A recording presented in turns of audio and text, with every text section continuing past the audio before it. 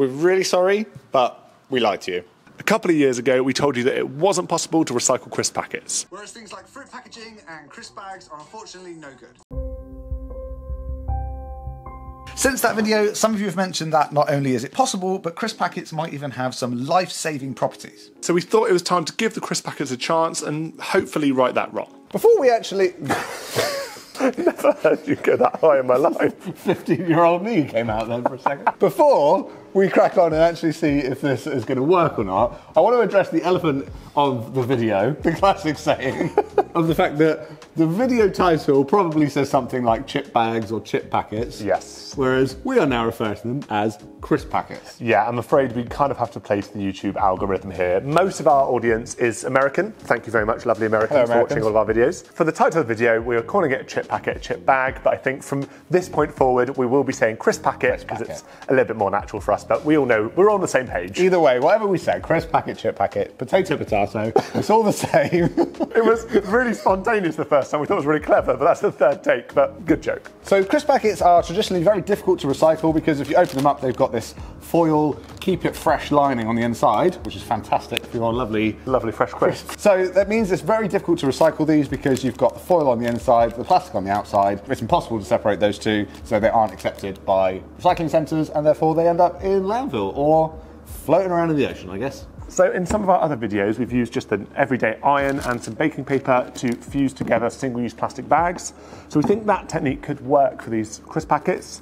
The only issue might be with the foil lining and it might cause a problem when it comes to fusing them together. So we're gonna have a quick test on a couple of packets to see if it works. Now, we're partial to a packet of crisps ourselves for lunch every now and again, but we knew that if we could actually make this work and we wanted to make anything of a decent size, we were going to need quite a lot of crisp packets. So we roped in all our family and friends over the Christmas period, and we managed to get all of these.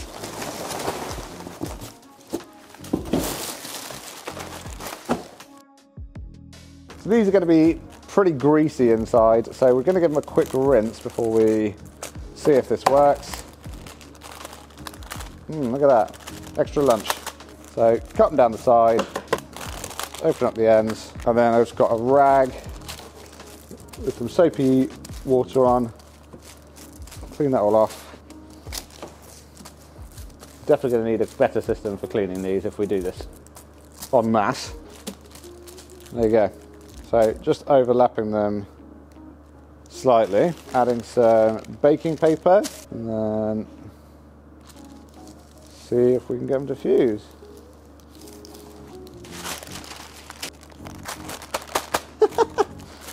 Wow. Wow, that's great. That actually works really well. Should do a couple more. Trying to keep it roughly straight. It fuses a lot quicker than the plastic bags do. Overlap, paper.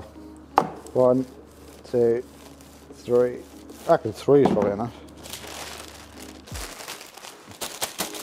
Right, so now we know that works, which is wonderful news. We now just need to work out what to make with it. So we took a look around online and we quickly stumbled across the very appropriately named Crisp Packet Project. Looking at their website, it's clear they're doing some amazing work reusing crisp packets to make life saving items, which are then given to people living on the streets or to those living through wars and natural disasters. So we reached out to Pen, who is their founder, who was absolutely lovely and was very happy to jump on a Zoom call. Now, we did have absolutely every intention of recording this so that we could share some of her infinite wisdom and knowledge with you, but unfortunately, I was lacking in the wisdom and knowledge to remember to press record. So, unfortunately, you're just going to have to take our word for it that she was lovely. She told us all about the Crisp Packet project and gave us some really cool ideas as well as some really handy tips on working with crisp packets. We'll link their website down below so you can take a look for yourselves because they've got diagrams showing you how to make a bunch of different things. The idea that really caught our eye was to make something like a bivy bag or a sleeping bag as we've got loads of crisp packets to use up. Now, they do have a diagram which shows us exactly how to make one of these, but we thought to keep things a bit more exciting,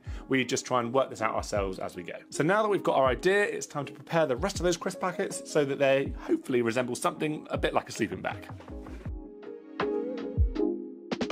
When you think about it, it's kind of crazy that this material is thrown away at all because the built-in foil lining has potential to act as a heat reflector to keep things warm or to reflect heat away and keep things cool. The Crisp Packet project make loads of different items that take advantage of this like emergency blankets and sleeping bags, but also things like radiator reflectors that you can slot behind your radiator to help keep the heat in your house and reduce your energy bills in winter. Okay, so while they're all hanging out to dry, here's our plan to how we're gonna make the sleeping bag. We're gonna take five crisp packets, iron them together side by side, and that will be the width of the bag. We'll then take 16 of those strips and iron them together. This will give us a sheet which is long enough for us to lay down in. We'll then do this twice, so we've got a front and a back for our sleeping bag, put them together foil side in, and once we've sealed all our edges together, we will have our sleeping bag. And yes, essentially we have turned lots of little crisp packets into one giant crisp packet. Once they were all dry, we sorted them roughly into size so that we could make rows using packets that were about the same height. When we spoke to Pen, she did suggest avoiding ones that felt much thicker as these don't fuse quite as well, so this included most of the larger packets, so we chucked them in a separate box to use for another project. I know we've just decided on a sleeping bag, Yeah. but I had another idea of something we could have made. You know those little hats that people wear and they make out of like tin foil to stop people reading your mind? yes, yeah, those. Crisp packets, foil lining, like it would work great. Why do you think anyone would want to read your mind? It's like like passwords, bank details, credit card number. I've got lots of important stuff up here. I think as much as I would love to see you walking around permanently with a tinfoil hat on your head, on this occasion, that won't be necessary. So whether you're just flicking around on your phone looking for some fun new recycling solutions, or you're just flicking through your emails, NordVPN can keep you safe in a whole bunch of ways while you're online. A while back, we got a call from someone who claimed to be our bank, and they said we needed to decline a payment because it looked suspicious. They emailed us a login link, and it all felt really dodgy. So we told them to do one, contacted our real bank, and they said yes, they were definitely trying to scam us. But if we hadn't noticed it, things could definitely have been a lot worse. If we'd had NordVPN at the time, their threat protection feature could recognize malicious links and warn us even before we clicked on them. So after a long old day of fighting off scammers and ironing some plastic, there is nothing more that we love than just kicking back with some Netflix and eating a packet of crisps. Don't worry, we can recycle them now. NordVPN lets you choose from a huge selection of countries, so if there's a particular film or series that you're desperate to see but it isn't available where you live, then NordVPN's got your back. This is also just really handy when you're travelling, as it means you don't have to miss out on your weekly TV binge from back home. So if you're interested, click the link down in the description to get a special offer, including four additional months and a 30-day money-back guarantee. And not only that, but it's also NordVPN's birthday. So right, so right now you'll also be getting access to a special little gift on them to celebrate. Lovely. Big thank you to NordVPN for sponsoring this video, and happy birthday! I see you went ahead and made the hat. You can never be too careful, and it's now a birthday hat too. I hate it. Come on, ironing to do.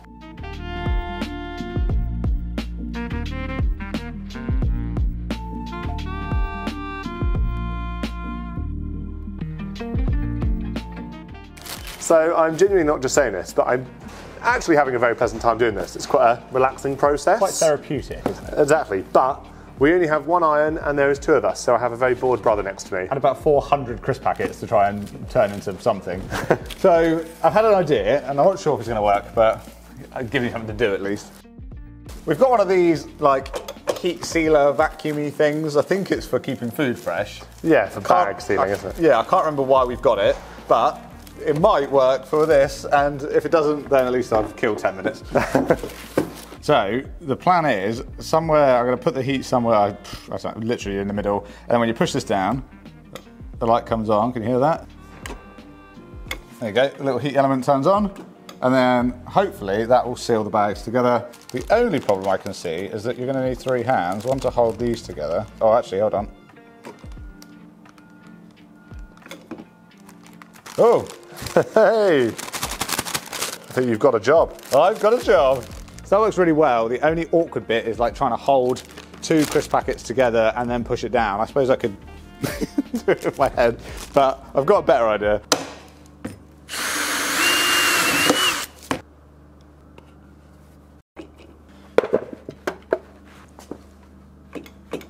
Right, test one. Hands free mode.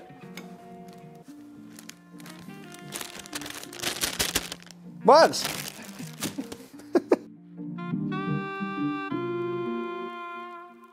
Should we have a red? Pink versus red. This is traditionally how you start crisp wars. Hands up. Three, two, one, crisp. Oh no, my first one didn't seal. Yes. Gotta give it a little extra push. No way. That could be round one. Best of three. Are you ready? I'm ready. Three, two, one, crisp.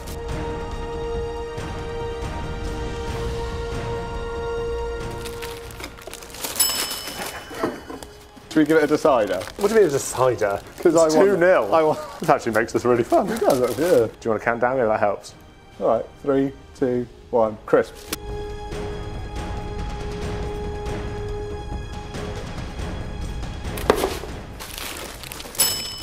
So close. but the traditional methods just take it, I think. To be honest, I think my rows are going to be quite wonky because I was quite stressed and rushing. But we'll, we'll go slower now, but they both work well.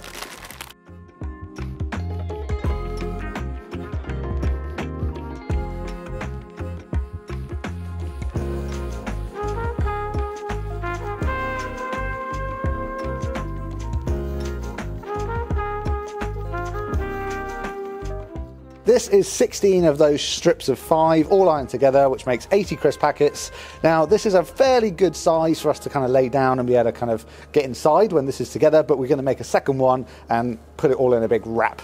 Now, this is relatively strong, but because crisp packets are the type of plastic that tears rather than stretches, it would rip, I think, if you put too much force against it. There are some little holes here and there. So, what the crisp packet project does to make it as strong as possible is they wrap the whole thing in like a clear film plastic and then iron all that together, and that makes it super tough and durable. Like the true hoarders we are, we don't throw anything away. So we've got some of these knocking about, which are from old mattresses. Oh, I might need your help here, Matt. Oi. Right, this genuinely wasn't intentional, but that has worked perfectly. Now, if you haven't got as lucky as we have and got a bit of plastic that's exactly the right size for what you need, then the team over at the Crisp Packet Project say that they always get their plastic sheeting from places that sell sofas because that's always what the sofas get delivered in and they just get thrown away otherwise. And although these are covered with words like biodegradable and little recycling logos, they're actually really tricky to recycle, so it's great to be able to give them a nice second life.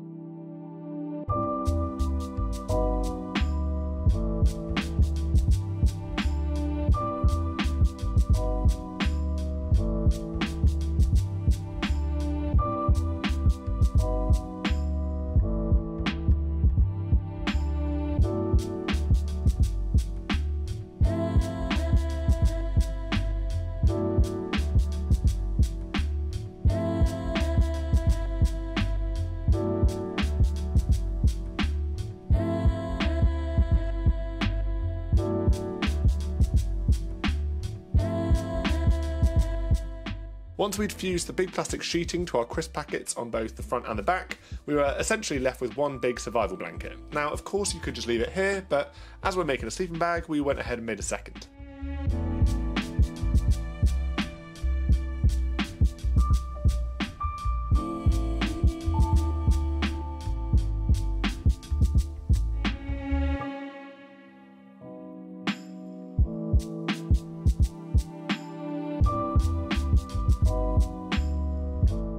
We laid the two sheets side by side and ironed them together along one edge, which left us with this giant sheet, which we then folded into a kind of tunnel shape so that we could join the other sides together.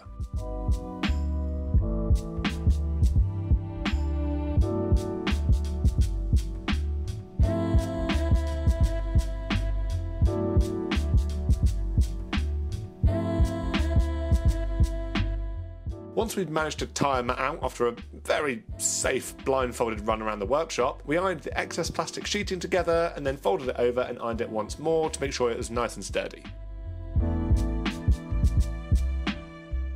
The last thing we had to do was just to make a few holes in the top layer of the sleeping bag just to allow any moisture to escape, and then we were ready to wriggle on in.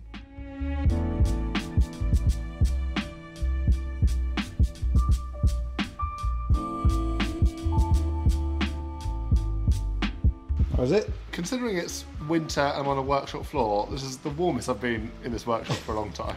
I'm genuinely really quite surprised that it worked that well, to be honest. For a load of crisp packets ironed together and Yeah. covered in plastic, it's, yeah, it works great. And it's really nice because of the size of it, it can work well as a bivy bag, so you can get in your sleeping bag and get inside, and then Yeah. it's really toasty.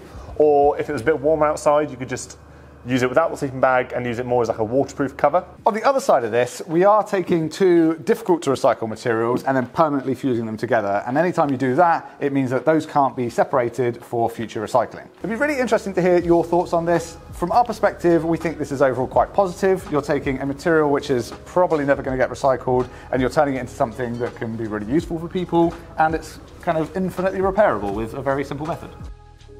If you are interested in getting involved yourself, then we have got a bunch of different ways that you can do so. If you can get your hands on enough crisp packets yourself, then have a go using the techniques we've shown you, and then maybe contact a local church or a local charity and see if they can help you get them to the people that need them. If you're UK based, you can help out Penn and her team. So they're currently inundated with crisp packets, but they are looking for rows and grids. So a row is four packets Yep. and a grid. 16 packets. Yeah, a little bit like we made earlier in the video. So if you can send them directly to them, we'll pop the address in the description below. And if you're super keen and passionate about recycling crisp packets, you could even set up your own crisp packet projects. There's loads all over the world. Just contact the owners on Facebook and they can help you get started. So thank you so much for watching the video, and a massive thank you goes out to Penn and her team for being incredibly amazing, helping us out a lot and doing the amazing work they're doing. And of course, we can't end the video without saying thank you so much to our wonderful brotherhood over on Patreon. These guys help us keep the workshop lights on and recycling more plastic. Legends. Thank you so much, gang. We'll see you on the next one.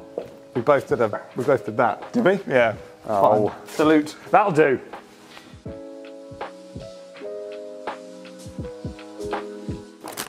I think this means that crisps are now tax deductible for us. I'm going to Google it.